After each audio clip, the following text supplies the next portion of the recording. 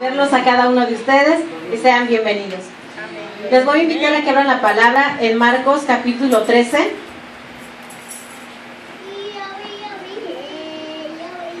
Y vamos a leer el versículo 31 y el 32. Me confirman con un amén cuando ya lo tengan. Marcos 13. Marcos está cerquita de Mateo, Lucas versículo 31 y 32. Amén. Y la palabra de Dios se lee en nombre del Padre, del Hijo y del Espíritu Santo. Amén. El cielo y la tierra pasarán, pero mis palabras no pasarán. Pero de aquel día y de la hora nadie sabe, ni aun los ángeles que están en el cielo, ni el Hijo, sino solamente el Padre. Amén. Gloria a ti, Señor. El tema de esta noche es preparados en todo momento y para todo momento. Le voy a pedir al pastor que ore por mí y a cada uno de ustedes, hermanos. Oramos. Amante Padre Dios eterno, Señor de la gloria, Jesús. Te damos gracias, Señor amado, por tu presencia, por tu Espíritu Santo. Te presentamos a tu sierva, quien va, Señor amado, disertar la palabra, quien va a hablar tu palabra. Señor amado, te pedimos, Padre Santo, que cada palabra que sale de sus labios, Dios mío, tu presencia, el Espíritu Santo, Señor amado, Dios mío, dirija, Señor, su corazón, su mente, su espíritu. Te damos gracias, Señor, por la palabra, Dios mío, que tú has plasmado en su vida, Padre Santo. Esta palabra, Dios mío, va a ministrar de manera poderosa, de manera especial. Gracias, Espíritu Santo, porque tú obras milagros, tú te glorificas de manera poderosa. Gracias, Señor, en tu nombre, Jesús amado. Amén. Pueden tomar asiento. Preparados en todo momento y para todo momento. La palabra de Dios nos dice que el cielo y la tierra pasarán, pero mis palabras no pasarán. Sabemos que, que mucha gente está afuera preguntándose cómo va a ser el fin, el fin del mundo. Esa frase la hemos estado escuchando desde hace mucho tiempo. Muchas personas piensan y dicen, las, personas que no creen en Dios, dicen esa frase, yo ya me la sé, que el mundo va a terminar. Pero esa frase yo la he escuchado desde que era pequeña, desde que era pequeño y todavía estamos aquí. Pero nosotros, la iglesia de Dios, que estamos esperando que venga Jesucristo por su iglesia, nosotros sabemos que para Dios un día pueden ser mil años y mil años pueden ser un día. Pero entonces la preocupación no, no tiene que ser cuándo, cuándo va a ser. Nuestra preocupación es, ¿estamos preparados? Pregúntale a tu hermano, pregúntale a tu hermana, ¿tú estás preparado? ¿Estás, ¿Te estás preparando? ¿Estás, buscando de Dios? ¿Estás buscando de Dios? O, te, ¿O piensas que estás preparándote enfrente de la televisión o con los amigos o en el parque? No es malo ir al parque, pero es malo cuando no le damos prioridad a buscar de Dios. Santo, ¡Hey! gloria a Dios. El cielo y la tierra pasarán. Sabemos también que hay muchas, puede, podemos decir, conspiraciones en donde sabemos que va a haber bombas nucleares, la, la tercera guerra mundial, pero no debemos tener temor a eso. Nuestro temor tiene que ser a Dios y la palabra de Dios dice que cuidemos nuestra salvación con temor y temblor. Amén. Estar preparados en todo momento, en todo momento, porque no sabemos, la palabra de Dios dice que aún ni los ángeles que están en el cielo saben cuándo será el día y la hora. Nadie lo sabe.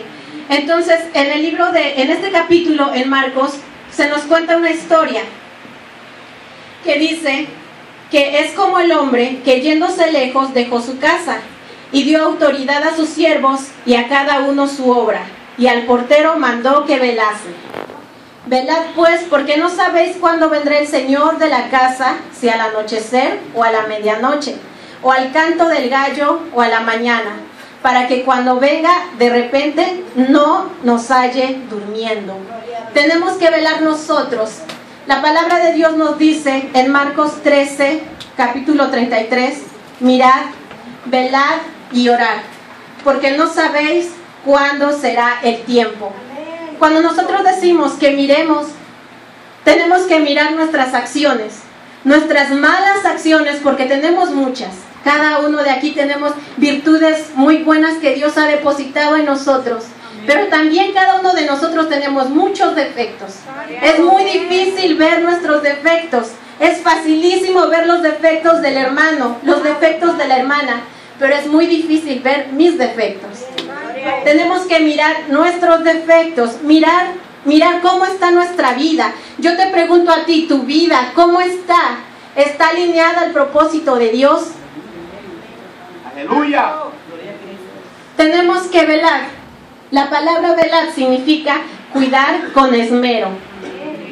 Nosotros sabemos que cuando hay, alguien fallece, van y velan ese cuerpo, lo cuidan.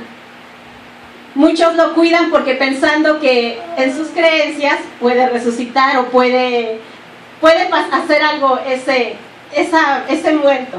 Nosotros sabemos que ya no puede hacer nada. Que, que, mientras tenemos vida, nosotros tenemos que buscar, mientras tenemos vida, nosotros tenemos la oportunidad de prepararnos para el momento, para el momento que no sabemos ni la hora ni el día, pero tenemos la oportunidad de prepararnos. Tenemos que velar, estar pendientes, cuidar con esmero esa salvación que nosotros tenemos. Cuando nosotros aceptamos a Jesucristo, recibimos la salvación automáticamente. Pero si solo lo, lo recibimos a Él como nuestro Salvador, no lo recibimos como nuestro Señor, quiere decir que nuestra vida entonces no está totalmente a, a, la disposición de lo que Él diga.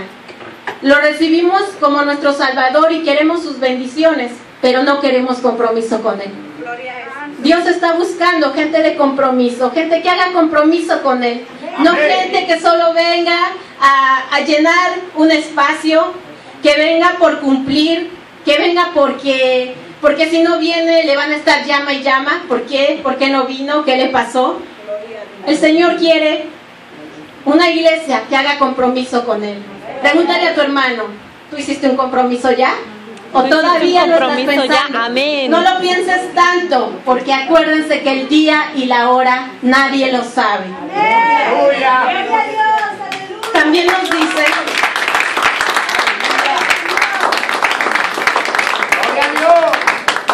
El versículo 33 también nos dice que oremos. Dice mirad, velar y orad. Todos sabemos cómo oramos, todos sabemos que la, la, comunicación que nosotros tenemos, la comunión que tenemos con Dios es a través de la oración, a través de la oración. Entonces nosotros tenemos que orar porque a través de la oración nosotros nos alimentamos espiritualmente. Tenemos que buscar de Él y si nosotros oramos, buscamos de Él, primero vamos a vencer las tentaciones, porque la palabra dice que una hora de oración solo es para vencer las tentaciones. ¿Qué pasa si no oramos ni siquiera una hora? Estamos expuestos a tanta tentación que hay afuera. Por lo tanto, tenemos que orar, orar sin cesar, en todo momento. No sé cuál es tu situación, no sé cuáles son tus peticiones, pero tenemos que orar.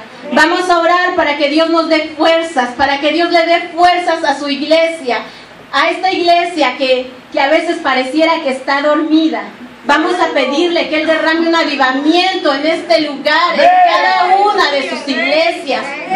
Amén, Padre poderoso. Vamos a buscar de Él en todo momento. Amén. Sin, sin orar, sin cesar, sin cansarnos.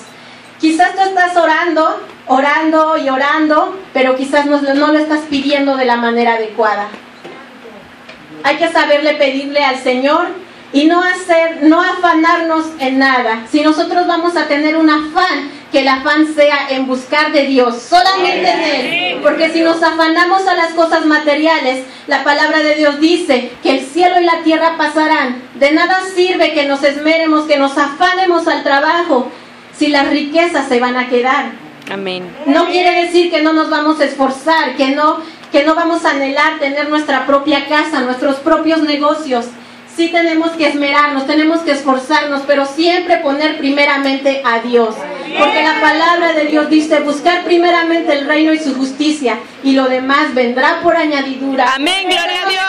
Tú piensas quizás que estás orando mucho por tu esposa y no llega, llegará. Busca de Dios y tu esposa llegará. Busca de Dios, enfócate en Dios y tus hijos llegarán a este lugar. Busca de Dios y Él, Él hará la obra.